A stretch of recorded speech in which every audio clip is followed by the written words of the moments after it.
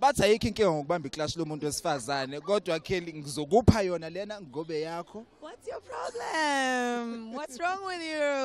How are you, baby? ngiyaphila kunjani See, mina nawe siya match. simeshile mina nawe siyangena kuyangena ku-right Ngane? Mm. Kelly wena waziwa njengomuntu nje istayela into zakho kodwa mase kufika kuma feathers wena mawucabanga istyle usocabangani Think out the box. Be yourself because feathers are about celebrating individuality. Mm-hmm. So for me, as you can see, it's a bit edgy. You can see a bit of my nipples there deliberately. And sorry, Linda.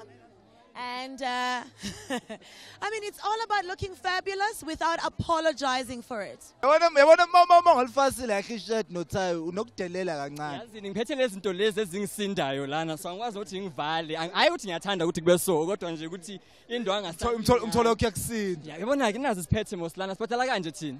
Right ngintshela ngathi-ke mina ngiwumuntu ozolokhu ebheka istayela nemfashoni. Oros iy'nsimbi zakho mfowethu siyazi ukuthi umxhosa kodwa usichazele ukuthi-ke yini into edecide ukuthi wena uzothi tradition uma ufika kuma-Feather Awards kulo nyaka Yeah, no, um, I felt that it was very important to actually, as people that are actually making it important to, to highlight and our sign that why that should be one of the things that we highlight as well. I-heritage yethu basukaphi, imvelaphi yethu nokubaluleka kwe kwekamva lethu through knowing ourselves.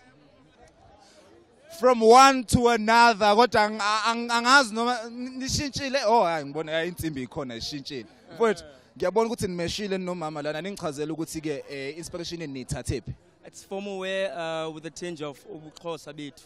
So it's about us just trying to show ba yeah sisuka phi imvelaphi yethu thini with uh, the modern wear that you know we wear every day formal.